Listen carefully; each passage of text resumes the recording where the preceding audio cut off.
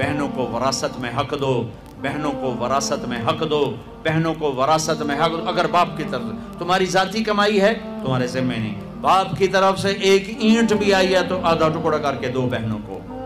लेकिन मेरे पंजाब में ख़ास तौर पर मेरे ज़िम्मेदार माहौल में कोई बहनों को हिस्सा नहीं मिलता, बिल्कुल नहीं मिलता।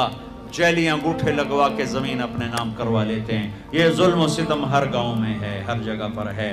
और जिसने बहनों का हक खाया हाँ, सारा रिस्क हराम हो गया सारा रिस्क हराम हो गया।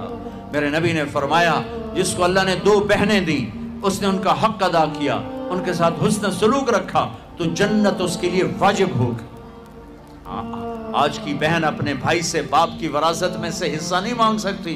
कहते बेगैरत है। या हिस्सा ले ले या बाइकाट हिस्सा लेगी तो बाइकाट मेरा रब कह रहा है ओ मेरे बंदो, मैंने बेटी का हिस्सा भी रखा है, मैंने बेटे का हिस्सा भी रखा है। मुझे पता नहीं तुम्हारा माहौल क्या है, लेकिन मेरे जिम्मेदारा माहौल में कोई बेटी भाइयों से, कोई बहन भाइयों से ज़मीन नहीं मांग सकती। उसे जलील करके तबाह कर देंगे, जिल्लत की आखिरी सीढ़ी तक उसे चढ़ाएँगे। जमीना मंगती है साढ़े को जमीना मंगनी है साढ़े को मेरे वालिद मरहूम ने सबसे पहले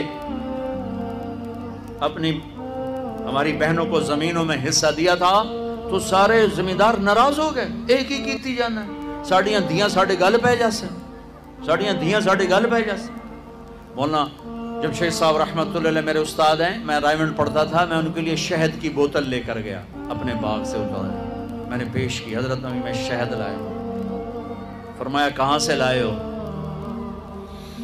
मैंने कहा, जी, मेरे अपने बाग का है, आम का बाग। अब शहद की बोतल थी उस दस रुपए की। दस रुपए।